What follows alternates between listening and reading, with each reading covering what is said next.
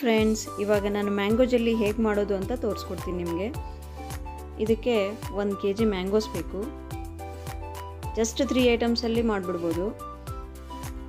ಸಿಪ್ಪೆ ತೆಗೆದ್ಬಿಟ್ಟು ಚಿ, ಚಿಕ್ಕ ಚಿಕ್ಕ ಪೀಸಸ್ ಮಾಡಿ ಇಟ್ಕೊಂಡಿದ್ದೀನಿ. ಇದಕ್ಕೆ ಹಂಡ್ರೆಡ್ ಗ್ರಾಮ್ ಶುಗರ್ ಬೇಕು. ಒಂದು ಕೆ ಜಿಗೆ ಹಂಡ್ರೆಡ್ ಗ್ರಾಮ್ ಸಾಕಾಗುತ್ತೆ. ಸ್ವೀಟ್ ಜಾಸ್ತಿ ಬೇಕನ್ನೋರು ಇನ್ನೊಂದು ಸ್ವಲ್ಪ ಜಾಸ್ತಿನೇ ಹಾಕೋಬೋದು. ಕಮ್ಮಿ ಬೇಕಿರೋರು ಇನ್ನೊಂದು ಸ್ವಲ್ಪ ಕಮ್ಮಿ ಹಾಕೋಬೋದು. ಹಾಫ್ ಸ್ಪೂನ್ ಏಲಕ್ಕಿ ಪುಡಿ ತೊಗೊಂಡಿದ್ದೀನಿ. ಇವಾಗ ಆ ಪೀಸಸ್ ಎಲ್ಲ ಮ್ಯಾಂಗೋ ಪೀಸಸ್ ಎಲ್ಲ ತೊಗೊಂಡು ಜಾರ್ಗೆ ಹಾಕ್ಕೊಂಡು ಫೈನ್ ಪೇಸ್ಟ್ ಮಾಡ್ಕೋಬೇಕು. ತುಂಬ ಸಾಫ್ಟಾಗಿ ಬರಬೇಕು ಪೇಸ್ಟು ನೋಡಿ, ಎಷ್ಟು ಚೆನ್ನಾಗಿ ಬಂದಿದೆ ಪೇಸ್ಟು ಇವಾಗ ಈ ಪೇಸ್ಟನ್ನು ಚೆನ್ನಾಗಿ ತಳ ದಪ್ಪ ಇರೋ ಅಂಥ ಕಡಾಯಲ್ಲಿ ತೊಗೊಂಡು ತೊಗೋಬೇಕು.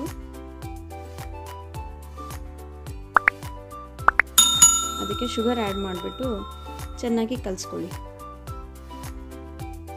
ಇವಾಗ ಸ್ಟವ್ ಮೇಲೆ ಇಟ್ಬಿಟ್ಟು ಹೈ ಫ್ಲೇಮಲ್ಲಿ ಸ್ಟಾರ್ಟಿಂಗ್, ಸ್ಟಾರ್ಟಿಂಗಲ್ಲಿ ಹೈ ಫ್ಲೇಮಲ್ಲಿ ಇಟ್ಕೊಳ್ಳಿ. ಸ್ವಲ್ಪ ಕಲಿಸ್ತಾ ಕಲಿಸ್ತಾ ಕುದಿ ಬಂದ ಮೇಲೆ ಮೀಡಿಯಮ್ ಫ್ಲೇಮ್ಗೆ ಚೇಂಜ್ ಮಾಡ್ಕೊಳ್ಳಿ. ಯಾವಾಗಲೂ ಕಲಿಸ್ತಾನೇ ಇರಬೇಕು ಅಂತ ಏನೂ ಇಲ್ಲ. ಸ್ವಲ್ಪ ಕೈ ಬಿಟ್ಟು ನಡೆಯುತ್ತೆ, ಬಟ್ ಕಲಿಸ್ತಾ ಇರಬೇಕು ಸ್ವಲ್ಪ.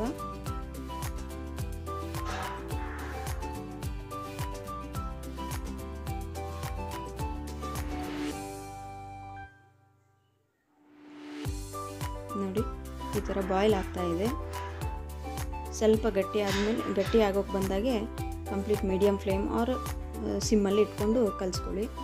ಇಲ್ಲಾಂದರೆ ಸಿಡಿಯುತ್ತೆ.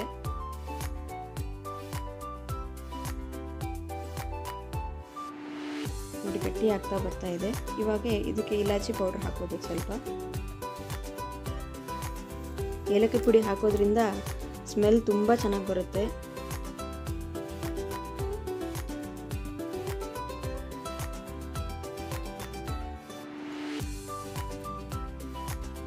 ಸ್ವಲ್ಪ ಗಟ್ಟಿ ಆಗೋ ಟೈಮಲ್ಲಿ ಕಲಿಸ್ತಾ ಇರಬೇಕು, ಕೈ ಬಿಡೋ ಹಾಗಿಲ್ಲ. ಇವಾಗ ಒಂದು ತಟ್ಟೆಯಲ್ಲಿ ಒಂದು ಸ್ಪೂನ್ ತುಪ್ಪ ಹಾಕ್ಕೊಂಬಿಟ್ಟು ಚೆನ್ನಾಗಿ ಸ್ಪ್ರೆಡ್ ಮಾಡ್ಕೋಬೇಕು. ಕಂಪ್ಲೀಟ್ ಸ್ಪ್ರೆಡ್ ಮಾಡ್ಕೊಳ್ಳಿ. ಸುತ್ತು ಹಂಚಿಗೆಲ್ಲ ಹಚ್ಕೊಳ್ಳಿ. ತುಪ್ಪ ಹಚ್ಕೊಳ್ಳೋದ್ರಿಂದ ಜಲ್ಲಿ ಈಸಿಯಾಗಿ ರಿಮೂವ್ ಮಾಡೋಕ್ಕೆ ಬರುತ್ತೆ. ಇವಾಗ ಈ ಹದಕ್ಕೆ ಬಂದಮೇಲೆ ಸಾಕು, ಆಫ್ ಮಾಡಿಬಿಡೋಣ. ಸ್ಟವ್ ಆಫ್ ಮಾಡಿಕೊಂಡು ಇದನ್ನೆಲ್ಲ ಪ್ಲೇಟಲ್ಲಿ ತಗೊಳ್ಳೋಣ ತುಪ್ಪ ಹಚ್ಕೊಂಡಿರೋ ಪ್ಲೇಟಲ್ಲಿ ತಗೋಬೇಕು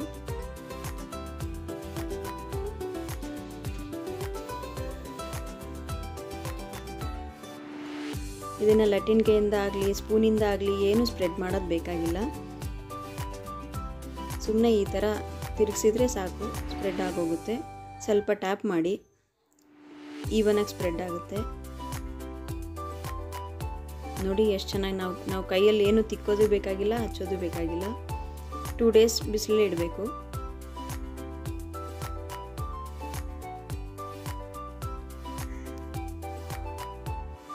ನೋಡಿ ಈ ಥರ ಬಿಸಿಲಲ್ಲಿ ಇಟ್ಟಿದ್ದೀನಿ ನಾನು. ಟೂ ಡೇಸ್ ಆದಮೇಲೆ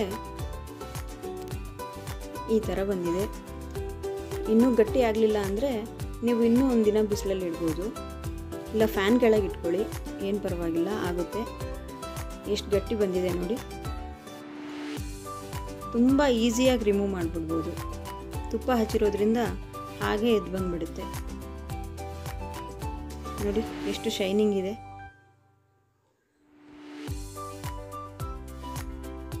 ಹೋಮ್ ಮೇಡ್ ನ್ಯಾಚುರೋ ಚಾಕ್ಲೇಟ್ ಅಂತಲೂ ಹೇಳ್ಬೋದು ಇದನ್ನು. ಮಕ್ಕಳಿಗೆ ಚಾಕ್ಲೇಟ್ ತುಂಬ ಇಷ್ಟ ಅಲ್ವಾ? ಈ ಥರ ಪ್ಲೇಟಲ್ಲಿ ಶಿಫ್ಟ್ ಮಾಡಿಕೊಂಡು ಕಟ್ ಮಾಡ್ಕೊತೀನಿ.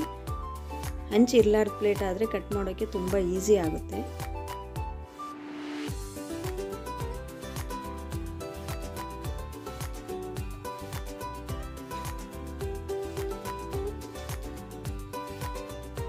ನಿಮ್ಗೆ ಯಾವ ಶೇಪ್ ಬೇಕೋ ಆ ಶೇಪಲ್ಲಿ ಕಟ್ ಮಾಡ್ಕೋಬೋದು. ನಾನು ಸ್ಕ್ವೇರ್ಸ್ ಮಾಡ್ಕೊತಿದ್ದೀನಿ. ನೋಡಿ, ವಾವ್, ಏನು ಸೂಪರಾಗಿ ಬಂದಿದೆ. ಮಕ್ಕಳು ನೋಡಿದರೆ ಹಾಗೆ ಕಿತ್ಕೊಂಡು ಬಾಯಲ್ಲಿ ಇಟ್ಕೊಂಡ್ಬಿಡ್ತಾರೆ. ಇವಾಗ ನಮ್ಮ ಮ್ಯಾಂಗೋ ಜೆಲ್ಲಿ ರೆಡಿ. ನೀವು ಟ್ರೈ ಮಾಡಿ friends thank you thank you very much